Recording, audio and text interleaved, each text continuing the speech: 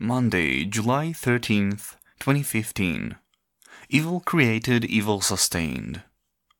There is a difference between what an evil can create and what situations are sustained by evil action. I think the former is not necessarily evil, while the latter is necessarily evil. Let's take an example. One of the most evil acts known to man is rape the use of force to physically control another person. It is not uncommon for a woman victim to get pregnant from the assault.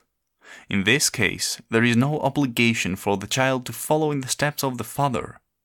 Good raising and care will create a good person regardless of the father. We have all seen cases of good children from bad parents.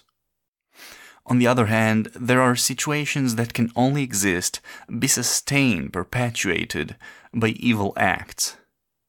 Take another extreme evil slavery.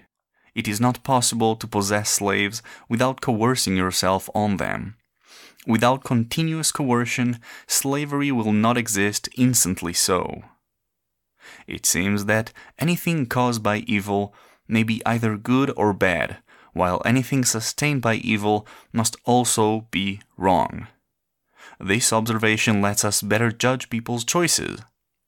Anyone who enjoys the results of another's evil is not liable unless they are also involved. However, if you are enjoying the sustained evil actions of others, then you are collaborating and are necessarily committing evil.